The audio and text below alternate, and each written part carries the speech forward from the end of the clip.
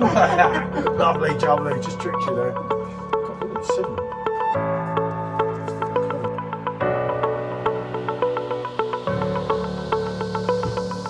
That's got to be reviewed, especially on the first pro.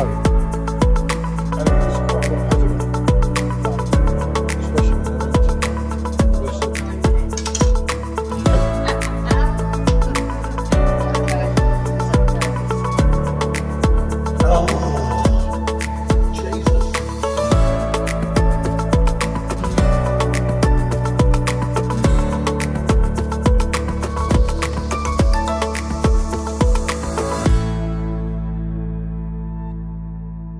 Good afternoon, people. Allow me to reintroduce myself. He's been watching our old videos. that must be where you picked that up from to do that again. Ah. Okay, we are doing these two. Hmm? I'm going to see what they're like against No each other. have a clue. Oh, you can't really see it, can you? No. Adnams. So we're doing Ghost Ship v Camden. We was doing it earlier. We've got another video that'll probably get put out before this one, God knows. Um, but I dopily switched the machine off, so we had to wait three hours to do this one. So there you go. So you get two rather than one, which is good enough anyway, because Ghost Ship needed to be done again anyway. So. Definitely. Right, I'm going to pour the Ghost Ship, and if you watch the earlier video, Jesus. Yeah, so he was a bit better than earlier. Simon Mulder would be proud. Trust me, really proud. Now I'll show you the art of pouring. I could do this sort of thing with my eyes closed, people. We've got this at six degrees, and we've got the PAL at five degrees. There you go. Unfortunately, the machine under there hasn't got it in. It's in the machine over there. So I'll just. Yeah, Yep. I won't bother flipping the camera around. You can keep them, keep them occupied. Yeah, it's not going to take that long. Tell them how much you love me. Lie to them. Wow. I'm not saying anything Oh, wow. Jesus. People like you don't need enemies. Right, there we go. Whoa, look at these pint balls. Wow. Okay. Shot of that quickly. So there you go. So far, so similar. They do look well close, yeah, don't they? do. So if you're going on about your discounts, uh, if you're on your 15% with your keg money back and so on, these are going to cost you about £2.60 a pint. So for craft beer, that's not too bad really, is it? Let's be honest. So yeah, um, you can see the Camden there. I found that glass. We actually didn't Yeah. get that glass like so many people with the with the new release. We actually had that glass about four years, didn't we? Yeah. Yeah, it was tucked away at the back. Took a little bit finding. But I found it, and it did have some surprises in it, but it's done. Mmm. Mmm. Aroma wise, Ghost Ship is smelling better. So I think that's more fruity, like pineapple, like This, is, um, this is really zesty and yeah. you're getting that So citrus smell coming through. Yeah, I think that's more, but that's more like pine, piney. Um, I think it's more full on fruit. Now, when I'm looking at them, like you say, they look similar, but that looks more full on. Remember, there's only 0.5 percent, Yeah. 4.5 on the Ghost Ship people, and 4 percent on a Camden Power. There's not a lot in it. Um, you know, Is that glass nucleated? yeah. That's why it looks so much more lively. Yeah, that's good. Like, there's quite a lot of bubbles going up that, and I don't think that glass is nucleated. I'll be stunned if it is. Nah, cans are not that good, South London twats. Anyway, enough about that. Let's not think about football. Let's go in. I'm going to try this one first. Yeah.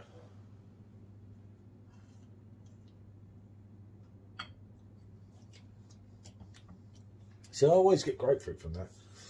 Michelle begs to differ, but for me, I know it's zesty, I know it's lemony, I know what it's made of, I read the write up on it, but for me, it's just packs a punch. It's Hmm. Okay.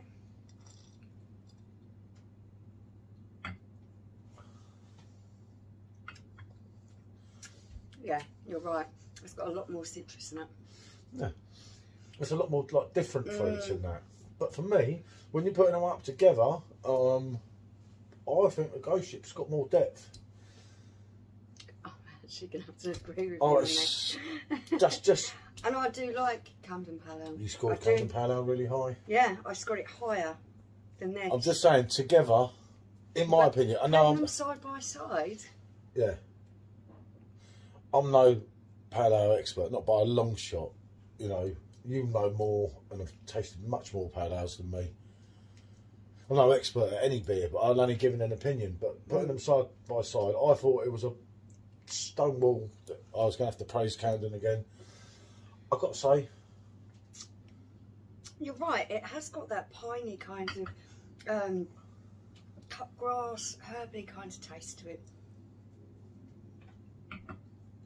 And I'm picking up on a, a, a biscuity kind of maltiness to that. Yeah, it's, it's, uh, for 4%, is carrying that weight. Remember the Beatles song, mm. Carrying That Weight?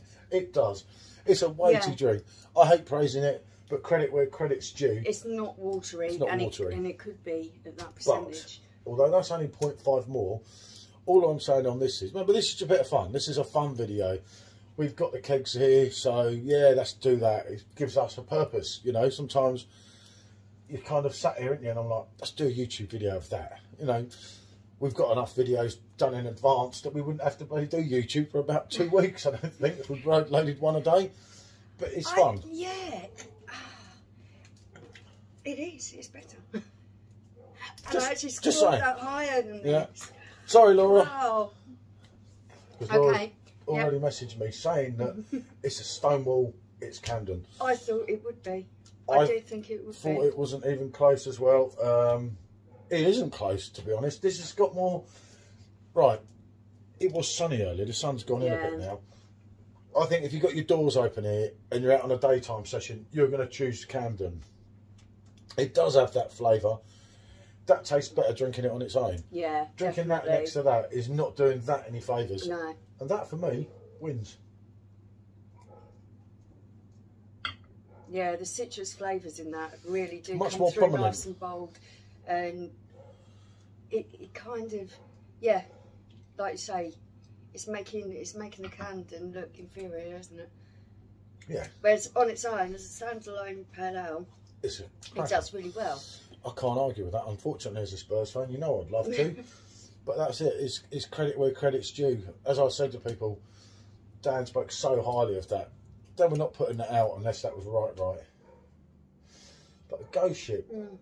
That was trace tasting more traditional earlier, Yeah, it's like it, it's up the ante when Yeah. you're putting it there. It's like Ghost Ship's like I've got to stand up and be Yeah. counted now. I'm This is- going to be the winner. this of is the one. Spurs one, you know. This is how it is. This is how it works. But no, I've I'm not a great fan of pale ale anyway, but I've got much more into them. I do like. Do well because you like them, and then due to doing YouTube, if it weren't for doing YouTube, Wouldn't try I wouldn't have tried half tried. the stuffs I, I tried and everything. And then we got addicted to getting the kegs first and everything. Now we do them things with Dan, so yeah, it's great. Um, but as I say, for me, That it's Ghost Ship again. Sorry, Laura. He who dares wins. he who hesitates, done. right. Thanks for watching, people. Uh, what can I say? It's Easter weekend, but God knows when you'll see this video. But happy Easter. Yeah. Happy Easter. Probably won't. yeah, it might make no sense. But bonjour.